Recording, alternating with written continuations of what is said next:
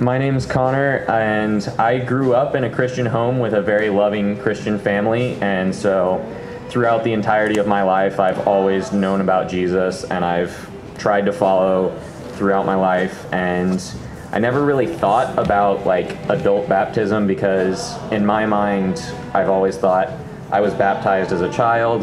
I don't need to go through it again. But in the past couple years, when I've been when, while I've been with iLife, I've thought about just deciding it, my making it my own decision, and it never just felt right these last two years. And then this year, we started talking about it in Sunday morning services, and it started to feel right. So I asked Nick and James to baptize me this year.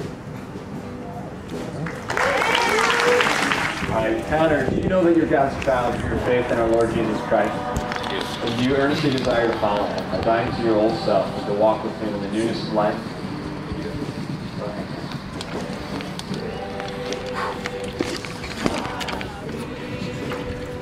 Connor, because of your faith in our Lord Jesus Christ and your desire to follow him, through life, I baptize you